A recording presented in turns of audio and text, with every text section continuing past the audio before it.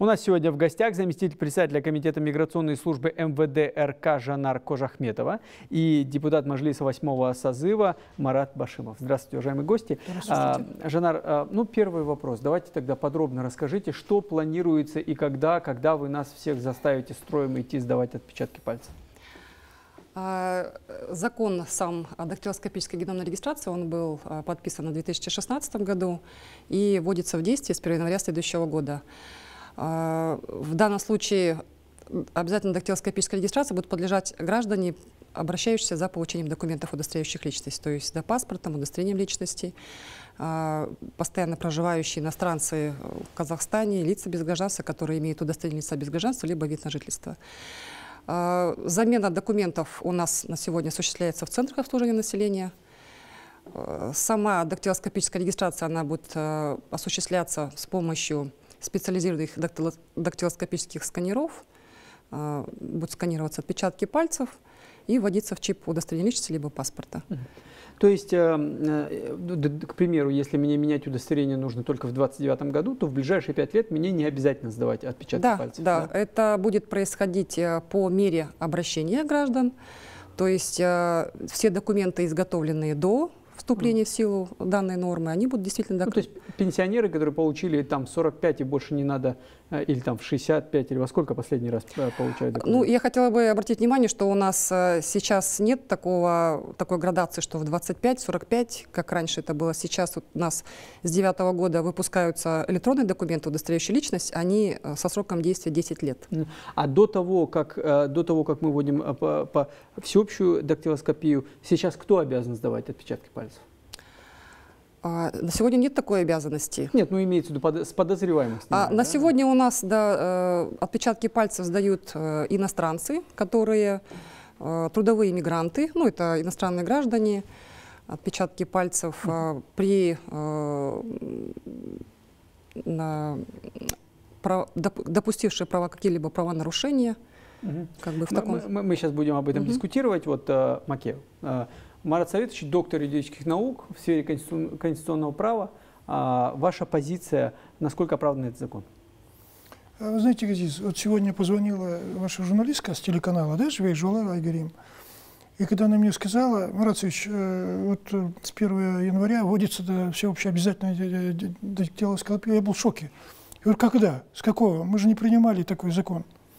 Да, она говорит, нет, почему? Такой закон существует. Я перепроверил. На самом деле, в 2016 году, это при прежнем политическом режиме Ельбасе, этот закон был принят. Угу. Тогда министр внутренних дел был, э, там написано, Калмухамед Касымов, да? И вот они приняли его. Как они приняли, я не знаю. Как это общество тогда... Я помню, что свою позицию, когда мне когда-то спрашивали, я тогда уже говорил, 7 лет назад это получается, да, что все, что должно делаться в этой области, оно должно носить добровольный характер. Это конституционный принцип – вы с какого боку, с какого в кавычках бодуна загоняете, загоняете всех геномную экспертизу? Вот я сейчас перед началом... Нет, а геномной не было речи. Подождите, дактилоскопическая, да, да ну и разница это... Э, понимаете, везде эти законы есть, но преимущество, они носят преимущественно добровольный характер. Законодательство, вот я сейчас посмотрел, мне вот уважаемый коллега мне говорит, в Узбекистане тоже приняли. Но извините, вот я открыл закон их, прямо написано, статья 16 добровольном порядке, представьте, на платной основе. А обязательность, нету такого понятия обязательности, то есть заставлять всех, ты представляете, 19 миллионов казахстанцев, 13 миллионов, или сколько мы сказали, там, да, сразу загонять их, давайте нам геномную, а то есть это, это Нет, это же не сразу, это Сейчас, на 10 лет Ну, все равно, обязаловка же есть у нас этот. Поэтому я, вот, допустим, категорически против этого, вот этого законопроекта, еще раз повторюсь, это не, не нами были приняты, были депутатами прежнего состава, да? Угу. Получается, не, и, и не несли ответственность какую-то за то, что они знали, не знали очень хорошо Конституцию, я так думаю, для себя. Но это другой аспект. Факт то, что при нынешних ситуациях, которые у нас э, было, сколько у нас базы данных, или, понимаете, опасения, которые есть у экспертов, тот период высказывали, я прочитал, это тогда они справедливо предсказывали. Представляете, база данных, которая э, отпечатков пальцев есть, да, представьте, она утечку дала. У нас что, сколько раз было огромная база данных Минздрава, да, Центральной избирательной комиссии, миллионами, 11-12 миллионов да, ушло в информационное поле. Где она гуляет, установочные данные, то есть персональные данные гуляют по всему миру. Угу. Представляете, а что такое отпечатки пальцев? Нет, сейчас, ну, да, вы, вы, я забуду. Вы сейчас. не выговорите все аргументы, я забуду мы их обсудим сейчас. сразу. Нет, да. подожди, да, я вам, я Пусть вам потом аргументы мне скажут. Нельзя МВД выгодно, да, она говорит, мы будем всех проверять. Слушайте, а что вы подозреваете всех в совершении преступления, да? Она нам нужна для выявления преступлений или тел умерших. Что вы заранее хороните людей, или заранее хотите, чтобы подозревать всех. Им легче они за счет других нарушений конституционных прав граждан. Это аргумент. Хорошо, я свои аргументы еще придерживаю да. сейчас. Да. Да, давайте посмотрим нашу первую инфографику, как в соседних странах а, действует это законодательство. А, ну, понятно, что в России действует закон о гос государственной геномной регистрации, в Беларуси полная биометрическая регистрация граждан, но а, удивительно, но в США законодательные требования по биометрии э, в паспортных данных и обязательная процедура отпечатка пальцев до въезда в США. Индия действует биометрическая идентификация граждан, и во Франции, в Кувейте тоже своего рода. А, а вот, э, Жанар, вы можете mm объяснить? А, за, сейчас э, первый вопрос. А, первый вопрос – это а, вообще э, сколько, нам насколько, сколько нужно аппаратуры будет купить, во сколько это обойдется государству, чтобы обеспечить? Это вопрос вторичный или это все-таки десятки миллиардов тенге на этом куда-то уйдут в чьи-то карманы? А почему чьи-то карманы? Во-первых, это, конечно, это а, дорогостоящий проект, потому что здесь в любом случае это было э, здесь а, закуп специализированного оборудования. Ну, государственный закуп. Да, естественно. Через, через подрядчика. Государственный закуп, это дактилоскопические сканера, это программно-лицензионное обеспечение, обучение сотрудников. А, у нас на реализацию этого проекта изначально была заложена более, э, ну, скажем так, в реализацию этого проекта более 14 миллиардов тенге uh-huh. заложено. Uh-huh. Здесь э, ряд мероприятий они включают в себя. Да, ну 14 миллиардов, ладно, это не такая угу. большая сумма. А, скажите мне, для чего с практической точки зрения, какой выхлоп будет от э, отпечатков пальцев, от дактилоскопии всех граждан? Ну, во-первых, я хочу отметить, что здесь э, речь не идет о какой-то проверке граждан в качестве их преступников и так далее. Угу. Это создание гражданской базы. Во-первых, этот сбор э, отпечатков пальцев, он именно при документировании. Угу. Первая цель для нас это, это дополнительный идентификатор – именно э, дактилоскопическая информация. И здесь в первую очередь какие преимущества? Это пресечение фактов незаконного документирования. У нас на сегодня есть немало фактов, когда документы, удостоверяющие личность, были получены другими лицами, э, используя там внешнюю Сколько схожесть и так далее. Примерно? Ну, у нас э, но если 100 тысяч в год это одно, если 100 случаев за 10 лет это другое. Нет, не 100 случаев в год, конечно. Мы, если бы это было бы десятками тысяч, тогда вообще как да, бы да, да. под, подверглось то есть, сомнению. То есть несколько случаев в год и давайте теперь дактилоскопию всего народа устроим, да? Это так? А, ну, во-первых, это не я не, не, не завершила. Это, во-первых, идентификация личности, утверждения. Это дополнительные параметры защиты документов от подделки, потому что дополняется еще один биометрический параметр. На сегодня у нас в чипах паспортов имеются цифровая фотография, это тоже является биометрическим параметром. Плюс сейчас еще будут отпечатки пальцев, то есть э, максимально защищены будут документы от подделки. Доку... А сейчас от они подделки. не защищены? А, защищены. Почему? Но мы же говорим, что мы, речь идет об а, усовершенствовании идентификации граждан. Во-вторых, это упрощение процедуры пересечения границ нашими гражданами других государств. Вот вы э, при выезде э, в страны, где требуется виза, вы же сдаете отпечатки пальцев, uh -huh. у вас идет верификация на границе uh -huh. с этой информацией. То есть, то есть имеется в виду, если мы издадим отпечатки пальцев в родном Казахстане, то есть гарантия, что при въезде в страну, которая требует отпечатки пальцев, мне их сдавать не надо будет. США а, есть такой договор уже? А, в любом случае, это, это же будет все совершенствоваться. А. Вообще, как бы в перспективе а, планируется вообще, э, вот на сегодня, если вы знаете, есть уже а, контрольные, на контрольных а, пунктах про, электронная система пропуска, mm. когда уже можно не подходить к пограничнику, к сотруднику пограничной службы, а там Нет, установленный... я, пытаюсь, я пытаюсь понять, вы говорите, что от этого станет легче в отношениях с другими странами, но не объясняете как, потому что другие страны должны согласиться принимать нашу электронную базу отпечатков пальцев. Они же все равно, американцы в Нью-Йорке, все равно заставят проходить отпечаток пальцев. Но если я там сдам, то зачем мне тут сдавать? Или, или как? Вы можете, какая конкретная польза от дактилоскопии, кроме того, что вы помимо всех остальных параметров еще и отпечаток, по отпечатку пальцев его проверите? По отпечатку пальцев здесь уже э, будет сверка один к одному, то есть информация э, в чипе будет сравниваться с отпечатком да. пальцев. Сто процентов на сто процентов. Да, а да, сейчас без верно. отпечатков э, отношение какое? Один к пяти или какое? А, ну, на сегодня у нас э, в любом случае присутствует человеческий фактор. Да. То есть идет э, внешняя визуализация человека по фотографии, скажем так.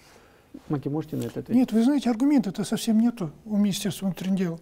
Ради проблем какой-то маленькой сфере, да, нескольких там э, совершенных правонарушений, может быть, да, все остальное, менять, заставлять 19-миллионный Казахстан, в данном случае там 13 миллионов или 12 миллионов людей, это, конечно, анекдот.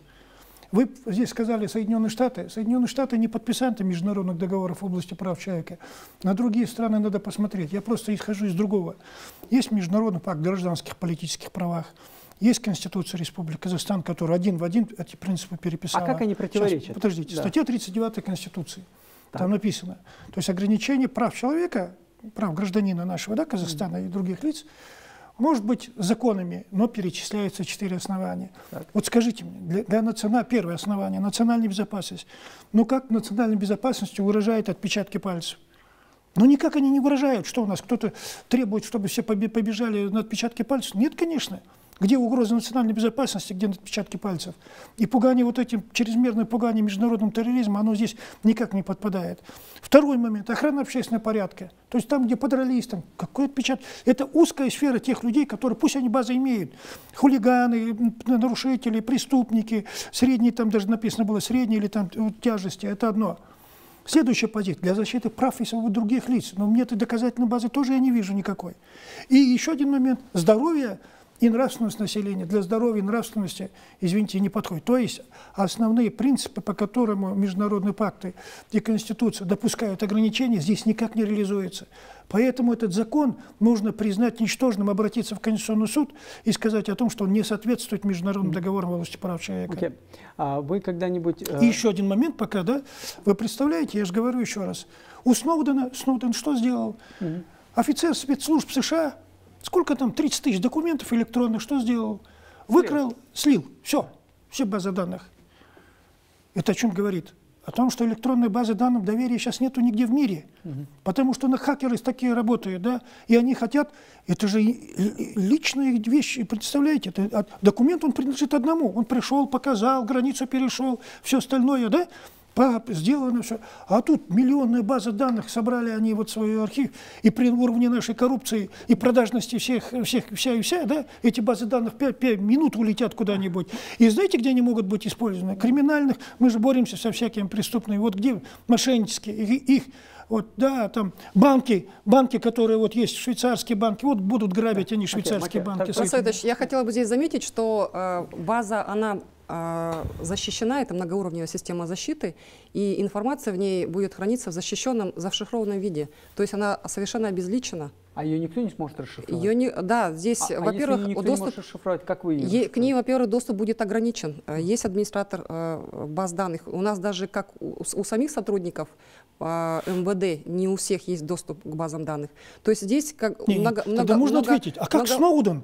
Самый да. сотрудник, Маке, самый Маке, засекреченной здесь, службы можно я скажу, можно я скажу, сейчас я скажу про Сноудена, Маке.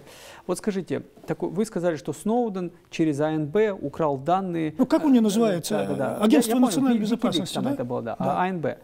Маке, ну вы понимаете, что мы, все казахстанцы, и вообще весь мир, уже за последние 10 лет этому АНБ полностью сдали наши отпечатки пальцев Face ID через наши смартфоны. Там где-то на серверах Google и Apple, э, к которым, скорее всего, имеют доступ АНБ и ЦРУ, уже наши отпечатки пальцев, всех людей, кто блокирует свои Samsung и айфоны отпечатками пальцев, а, а, уже все эти данные там есть. И наши лица, и наши радужки глаза. Откуда Все. вы знаете это? Нет, ну, Маки, ну, э, э, все блокируют с помощью отпечатков пальцев. Эти данные передаются в Apple с помощью их сложной системы iOS. Все это хранится на американских серверах. И, и сейчас, конечно, мы наивные. Нет, нет, АНБ не имеет к этому доступа. Мы все сдали данные иностранным корпорациям и, и американской разведке. А почему мы родине-то не доверяем? Почему американцам Нет, ну, сдаем, а своим не сдаем? Первый раз слышу, чтобы э, прямо разведка США уже прямо на это. Нет, а я вам приведу. Вы я вам приведу. Да. Вы знаете, что есть такой Такер Карлсон? То есть лич, э, разведка США собрала про нас личные данные а, о наших Маке, отпечатках Маке, пальцев, да? да, вот да, такое. Популярный ведущий Такер Карлсон а, с Fox News, он сейчас очень популярный критик, республиканец, две недели назад заявил, что его мессенджер Signal взломала АНБ. Публично сказал. У него миллиарды просмотров. Он сказал, мой мессенджер Signal взломала АНБ. Но если сами американские ну, элитисты ну, тогда, рассказывают... Газис, тогда тем более нам не нужно сдавать эти отпечатки то есть, пальцев. То есть давайте американцам сдадим, а от наших будем прятать. А я не знаю, что американцы у меня взяли или не взяли отпечатки, да? Вы когда-нибудь блокируете свой телефон и отпечаток пальцев? Ну я не знаю это, насколько это правда. А тут-то мы в законном порядке говорим. О да. законном порядке, о том, что узаконили, все пошли. Да. Законном... А тут американцы делают незаконно. Их можно там ругать, привлечь к ответственности, кричать на весь мир, не, что ну, они ну, Они, тем не менее, это же делают добровольно. Вот э, вы покупаете телефон Apple э, и аутентификацию аутентификацию проводите через свой отпечаток пальцев. Вы же и через лицо, и через радужку Да, глаза, и через лицо вы уже приложили, все, они уже в сети в чьей-то, скажем так. У нас на сегодня, по нет, сути, нет, вот... Смотрите, вы хотите сейчас страну все привлечь. Это ладно, там сколько у нас телефонов, да? А что у нас вся 19-миллионная страна имеет телефоны? американцев по контролю за нами. Да? да, это нет, еще раз говорю, как конституционалист, это все носит да. неконституционный а, характер. Жанна, та, вам такой вопрос. На самом деле вы говорите, улучшается идентификация, да? Вы знаете, я хотела бы сказать, что это э, в перспективе это бы а, в дальнейшем это позволит нам получать те же госуслуги а, удаленным способом. Вот у нас же тоже, когда мы внедряли электронное правительство, было недоверие, как это так, электронная цифровая подпись, я всегда живую подписывала, как я буду через интернет получать какие-то услуги. А сейчас, пожалуйста, мы сейчас ком-услуги, банковские платежи, все оплачиваем через приложение, через э, электронное правительство.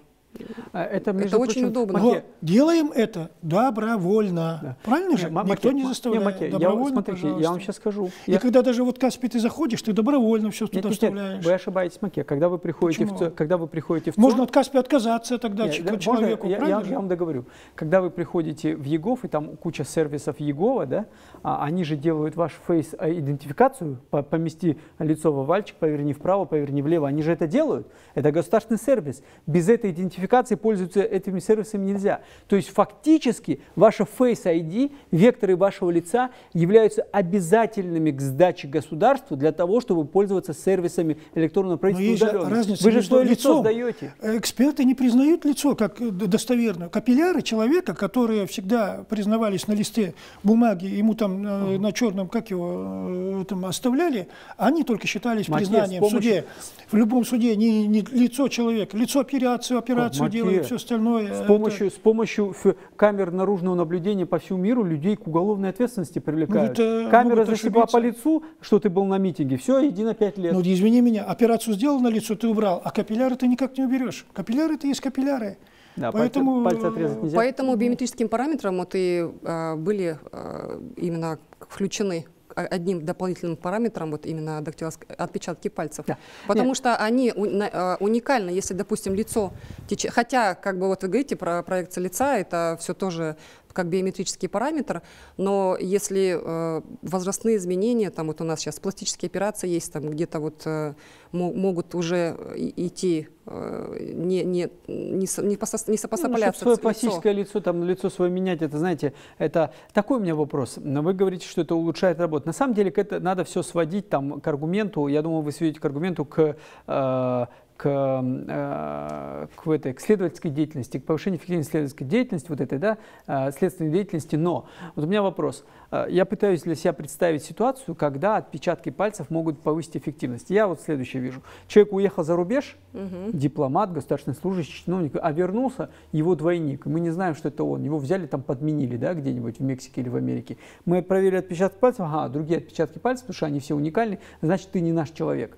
Но в этом случае это такая узкая категория людей, что там наши спецслужбы и так проверят их, да, там э, э, щипцами ну, пальца уже, оторвут, да, это уже работа спецслужб. Или, допустим, другое. Есть категория людей, а, вот если наше общество по степени склонности к криминальным действиям построить пирамиду, то наверху окажется такая узкая категория мошенников, бандитов, малолетних преступников, которые и так до 20-25 лет уже все это сдали, свои отпечатки пальцев.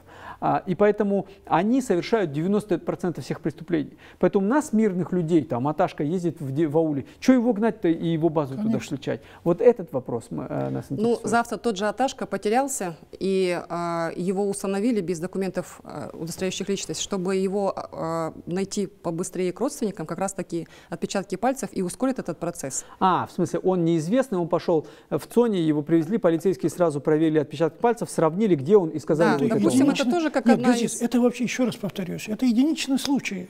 Это работа Министерства внутренних дел, 100-тысячного ее коллектива. Причем тут затягивание 12-13 миллионов граждан в эту, эту, да, половина из которых живет в селе, вы сами справедливо заметили.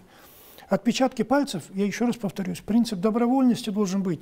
Добровольно написано, вот только что я почитал закон Узбекистана. Да? А они, э, я спросил этого у одних руководителей, которые занимаются э, правами человека, в Центре по правам человека Узбекистана, везде добровольность. И сказки о том, чтобы заставлять всех, давайте, это только авторитарные государства, которые хотят что делать, все контролировать, всех знать, кто что делает, по телефонам, э, по, по отпечаткам пальцем, да, потому что человек отпечат, отпечатки пальцев оставляет же везде, правильно? Ну, да? профессионалы не оставляют, они ну, действуют в перчатках, да. да. То есть контроль, контроль, это чрезмерный контроль над личными правами граждан. А, вот это очень Маке, а вы не можете, нравится людям. Смотрите, вы как конституционалист, как депутат, можете мне объяснить? А, они же... Еще раз говорю, приняли это совсем в 2016 я, году. Я понял, понял. Сейчас... Сейчас задача стоит о том, что я еще раз повторю, я в шоке был от вашей журналистки Агирим, которая, говорю, как приняли? Да, говорит, ее надо с 1 января притворять в жизнь. Как это будет притворять? Я, допустим, считаю, что сейчас нужно срочно обращаться к Конституционному суду, чтобы он дал, э, да, по поводу этого заключения, э, чтобы признать эту норму неконституционной. Понимаете, да? Это я, вот моя позиция такова. Принцип добровольности должен быть на первом месте, а не принцип заставлять всех туда Нет, делать... А, э... Марат у меня, у меня такой вопрос.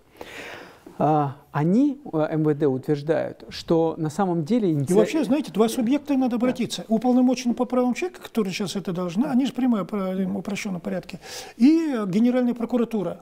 Зачем мы подняли мы прокуратуру? Можно, можно я задам вот вы обратитесь вопрос? публично. Я... Генеральная прокуратура должна заняться Обращ... этим вопросом. Обращаюсь, можно я задам вопрос? Они не говорят, что они вызывают людей, а они говорят, что по мере, вот ты пришел обновлять документы, ты все равно пришел обновлять документы. Они говорят, ну вот, вот, вот здесь вот квадратик, поставь в него палец. Поставил палец, все, операция одну секунду, больше ничего делать не надо. А скажите, а как, вот Газис, то, что это вот сделано, смотрите, какой у нас дискомфорт приносит? Подождите, Газис, в чем вред? Диск, дееспособность людей, да, когда наступает? То есть человек лет. считается, 18 лет. Да. А ему вы даже в законе написали 16 лет, он должен отпечатки. Слушайте, Какой вред он, это? Он не несет ответственности даже за свои действия до 18 лет, к примеру.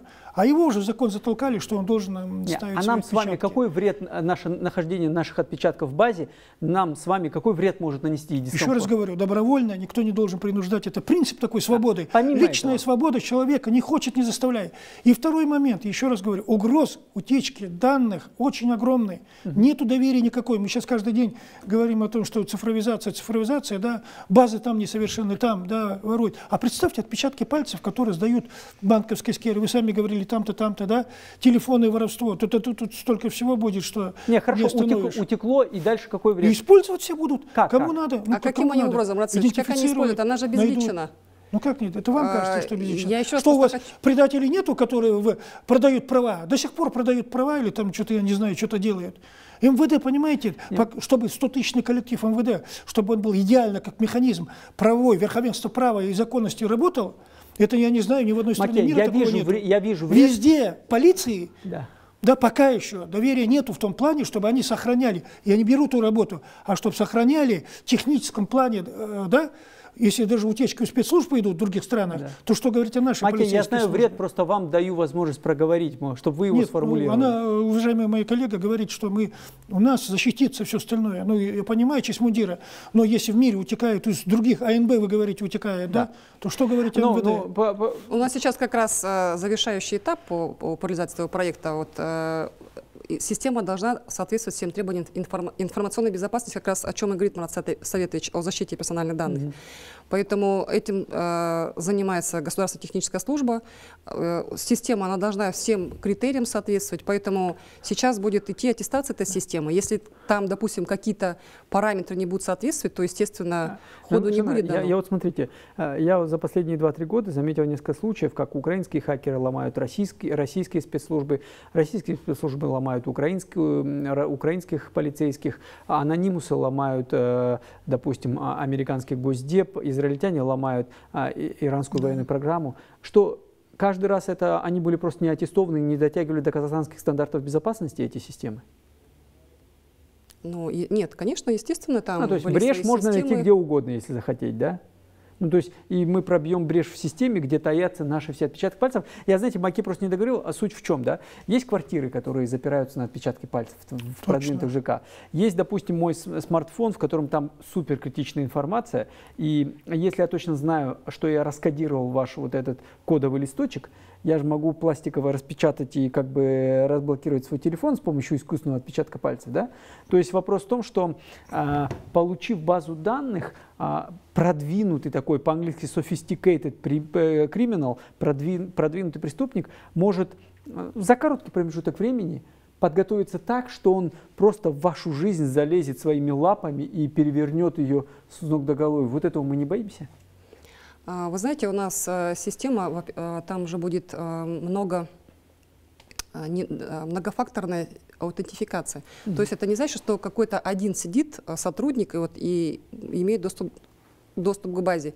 Несколько уровней защиты. Это не значит, что вот, допустим, какой-то недобросовестный сотрудник допустил, и э, все Нет, получили... Я, я не пытаюсь угу. поставить пятно на ваш мундир, я, в отличие от Макея, э, с уважением отношусь к полицейским. Это тяжелый ежедневный... Я тоже уважением это, отношусь. Да, это, это, это, это, это тяжелый ежедневный труд. Я сейчас говорю о факторах, которые не зависят от вас. Даже там э, страны, находящиеся в состоянии войны и держащие ухо востро, их взламывают мошенники и э, эти, ну, всякие там э, хакеры, то почему нас Э, великую IT-державу Казахстан не могут взломать те же самые хакеры и каким-то образом воспользоваться. Вот так, сейчас де, де, претензии не к вам. Нет, конечно, в любом случае мы сейчас можем различные гипотезы строить, э, что и и здесь может быть, и здесь какая-то брешь. Но, тем не менее, мы как правоохранительный орган э, прилагаем все усилия, чтобы наши системы максимально были защищены. Можно спросить Поэтому... вас тогда, Дара, вот смотрите, да, при расследовании уголовных дел – при нашей уровне коррупции, которая существует, да, существует, существует. Коррупция – это бедствие наше, да, нашей страны в том числе. И извращенное сознание, двойные стандарты. Вот представьте, захотели посадить кого-то, да, к примеру, взяли вот этот идентификатор на это, да, пальчиков, туда приложили, и может быть такое, да, что а, при расследовании, если люди, а у нас, знаете, проблем в этой сфере хватает – да, предательства разных хватает. Невиновных людей могут также подставлять, в кавычках. Подставлять, это уже термин у нас есть, да, все-таки, я говорю откровенно о тех проблемах, которые в правовой сфере существуют. Могут быть проблемы, могут. То есть готовы ли мы сейчас к тому, ну вот у меня в чем еще вопрос второй стоит, что при том уровне коррупции, а мы ее ужас э, и признавать не хотим, у нас коррупционеры, иногда мы, как этот студент говорит, плюнешь, да, коррупционер, плюнешь, коррупция, как от нее являются. И на этом фоне мы хотим сохранить права человека, базу личных данных, да, которую он свободно пройдет без Гру- Грубо говоря, Маке говорит следующее, да, что э, это казалось фантастикой 20 лет назад, сейчас нет, что можно взломать базу данных, найти, расшифровать, найти э, человека, э, изготовить, изготовить там перчаток, силиконовый имплант с его отпечатками пальцев и в нужном месте оставить этот отпечаток на ноже, на стакане, на двери и все. И потом, а потом дальше честно ведите свое расследование. И честные исследователи найдут этот отпечатки пальцев, быстро его ну, найдут. Может быть, и, да, мы как такое, тоже гипотеза. Такое, такое может быть, да. А, и мы же видим, что дело в том, что а, за не только не только полицейские, но и другие люди, но там подбрасывали наркотики, подбрасывали оружие, подбрасывают там всякое ну, да, в карманы да. людям. И из этого мы беспокоимся. Но я опять же говорю, сейчас ни в коем случае не кидаю. Я, я, я понимаю, что на самом деле цель-то благородная, и есть какие-то там аргументы идентификации. И тем более мы знаем, что мы уже все сдали. Мы лица нашему правительству сдали, отпечатки пальцев американским корпорациям сдали. Я не знаю, как из этого Нет, выпутаться. Для иностранцев, которые для национальной безопасности, если иностранец приедет сюда, закон о миграции, это все приветствуется. Я говорю ага. в целом о гражданах, которые 19 миллионных. А вот о чем речь. А, уважаемые зрители, как вы видите, проблема дискуссионная и сложная. Безусловно, методы идентификации гражданина в целях общественной безопасности будут продвигаться, расширяться. От этого не э, никуда не убежать. Вопрос в том, чтобы любая проблема была изначально протестирована на слабые места, и это каким-то образом было подстраховано дополнительными методами. Это был «Фокус внимания» с Газизом Абишем. Всего вам доброго.